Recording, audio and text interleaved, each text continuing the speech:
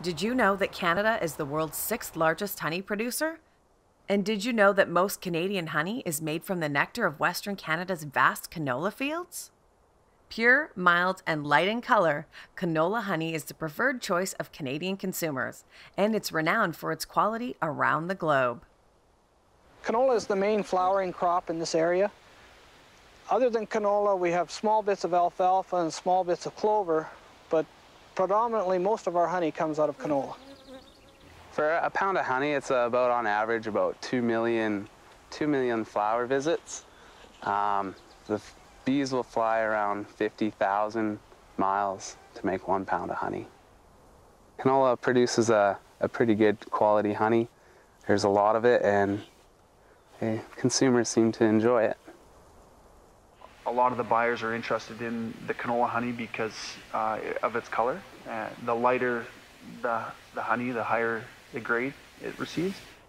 Uh, it makes a very light honey. It uh, ranges anywhere from 5 millimeters to 15 millimeters in, in, darkness, which is very, very light. Most honeys in the world are in their 50s, 50 millimeters, so we, we do a product that's wanted around the world for blending to a lighter color.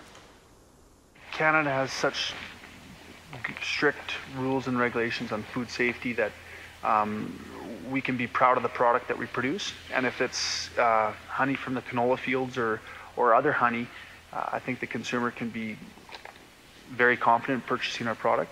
And in fact, you know, look for the local Canada product because they can be assured that there's there's real strict food safety. If I could pick one thing to tell Canadian consumers about beekeeping in Canada, it would be that I think the beekeepers are very cognizant that they're producing a food product, something that's going to be on your table. And they, by and large, most beekeepers try very hard to produce a high quality honey product in Canada. And so I would encourage consumers to buy Canadian honey and make sure the honey that they're buying is Canadian, to support Canadian beekeeping industry, and also to support beekeepers who are not only producing a honey crop but also pollinating our food supply. Canola and honey are both important to the Western Canadian economy.